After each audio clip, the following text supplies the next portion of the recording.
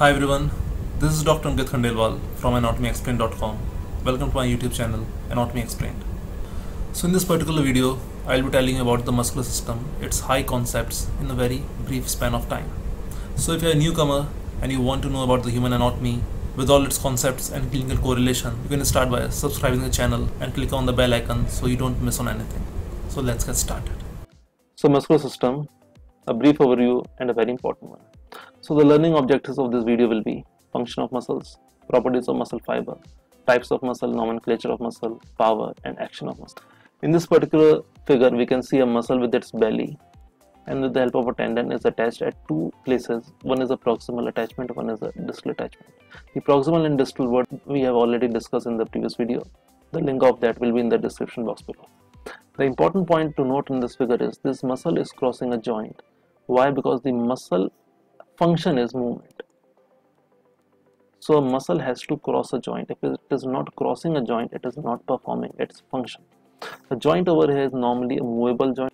This figure over here is showing in the, on the left side the relaxed state of the muscle fibers and after they are excited by the nerves they contract and this is the contracted state of muscle fibers. It is said that the muscle contracts about 40% of its original length so what happens is we have a nervous system with a brain and spinal cord. From this nervous system we have cranial and the spinal nerves coming out. Out of these the motor nerves will form neuromuscular junction with the muscle fibers and they will excite the muscle fibers due to which they will get contract the properties of muscle fibers are they are excitable. They are excitable with the help of the nerves. Second after being excited they are contractile.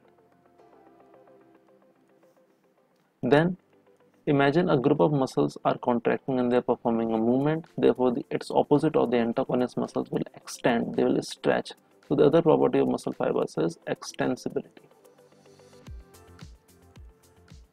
Now imagine after a muscle has contracted or after it has extended, it will try to return to its original length. Therefore, it needs to have elasticity. These are the properties of muscle fiber. Now over here we can see some types of muscles. Number one is the smooth muscles. The smooth muscles are found in the viscera, particularly in the digestive and respiratory tract. They are also known as non-striated muscles. Non-striated means they have a particular arrangement of actin myosin filaments and they are not under our, our control so they are known as involuntary muscles. The second type of muscles are the cardiac muscles. So cardiac as the name says they are found in the heart walls so they help to pump the blood to all the tissues of the body. They are striated that is a particular arrangement of actin myosin and also they are involuntary. They are not under our control. The third type of muscles are the skeletal muscles. So as, as the name suggests they are skeletal so they are attached to the skeleton. So when we generally talk about muscles we generally talk about the skeletal muscles. So these are the main muscles which are helping in our gross body movements. These are under our control so we call them as voluntary muscles. But as they are also like cardiac they are also striated muscles there are more than 600 skeletal muscles found in our body. Now this particular table over here is showing you the nomenclature of muscles. How the muscles are named. So muscles are named according to their shape, their size, their number of heads, their position, their depth, their attachments, their action. These are the various ways in which the muscles are named. So as I told you, there are more than 600 muscles. So let's take for example, if the muscle has two heads, we'll call it biceps. If the muscle has four heads we'll call it quadriceps. Now if the muscle is deep we will call it profundus if the muscle is superficial we'll call it superficialis if the muscle extends any joint or body part we'll call it extensor. If the muscle flexes we call it flexor. If the muscle is triangular in shape we call it deltoid. If the muscle is straight we call it we call it rectus. So these are the ways in which the muscles are named. Now coming to a question a 17 year old boy engages in an intensive weightlifting program to build muscle strength. The growth of his muscles is a result of which of the following processes? Is it atrophy? Is it hypertrophy? Is it hyperplasia? Or is it tonus? Now you can pause the video and try to answer it. The correct answer for this question is option number B that is hypertrophy. That process is known as hypertrophy. So the point over here is the power of muscle. The power of a muscle depends on two things. One is the number of muscle fibers and second is the diameter of muscle fibers.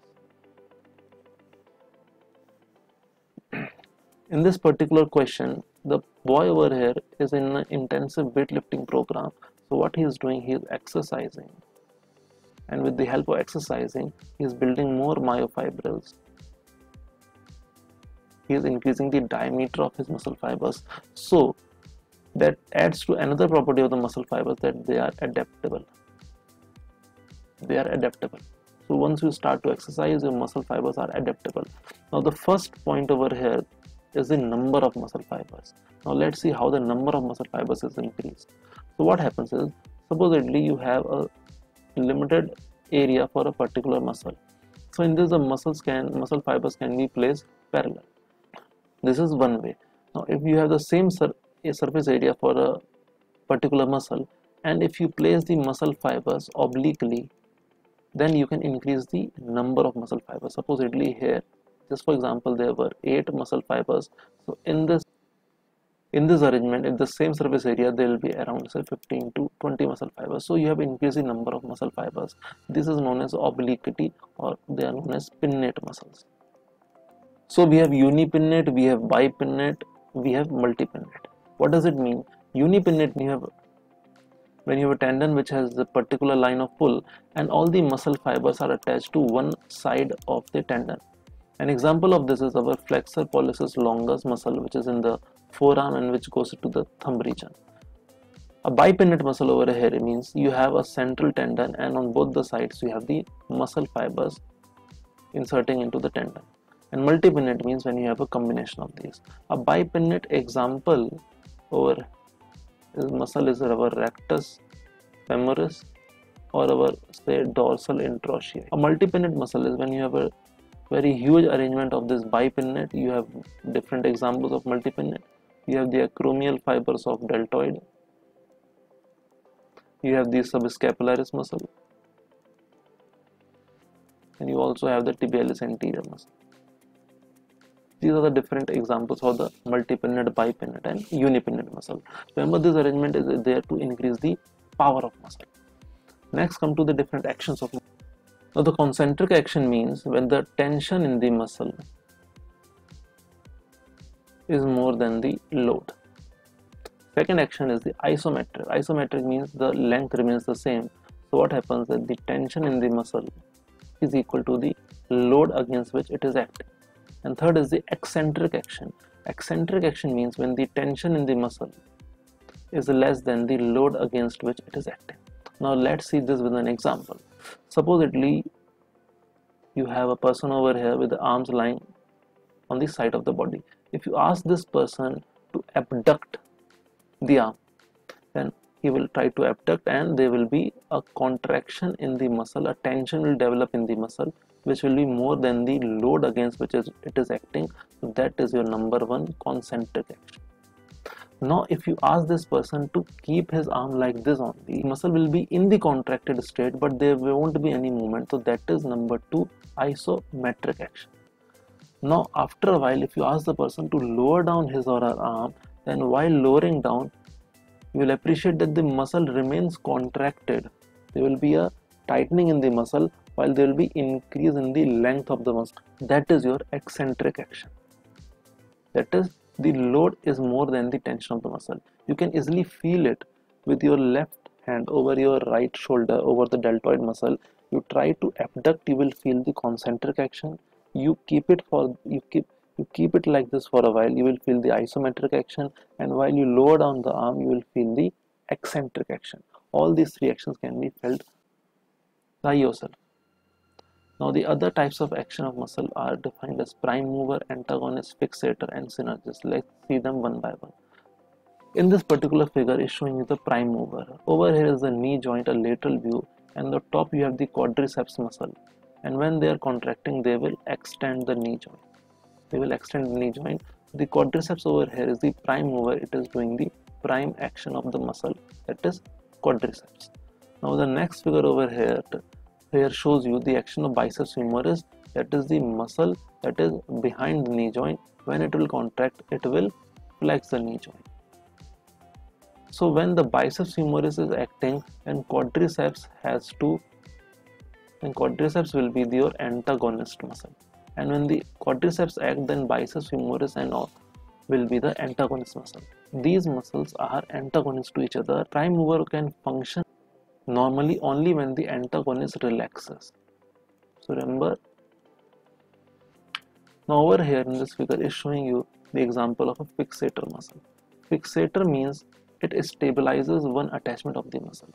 So over here we can see the backside of the trunk and this over here is the scapula and these are the rhomboids and the serratus anterior muscles what they are doing is that they are stabilizing the scapula the reason is when you stabilize the scapula when you are stabilizing one end of the deltoid muscle so that the deltoid can easily function and it can abduct your arm. So the deltoid is functioning and it is that is fixator. And last one over is the synergist. Now what do you mean by synergist? See, when a muscle with its tendon, it goes from one end to the other end, then it crosses many joints. Supposedly over here you have the long flexors or you have the long extensors. So when they go from forearm to the phalanges, they are crossing wrist joint, many carpal joints, metacarpophalangeal joints. Supposedly we have to flex our fingers. So when we have to flex our fingers, then what happens that the muscle has to only function at the interphalangeal joints so the tendons which pass through the wrist joint and the intercarpal joints there the flexor tendons are stabilized by the opposite extensor tendons and these are known as the synergist muscles so that there is no movement at the wrist joint and only the fingers are flexed that is the function of synergist so that's all in the topic overview of the muscle system if you learned anything from the video, don't forget to click the like button and consider subscribing it too. Have fun, happy learning, see you soon.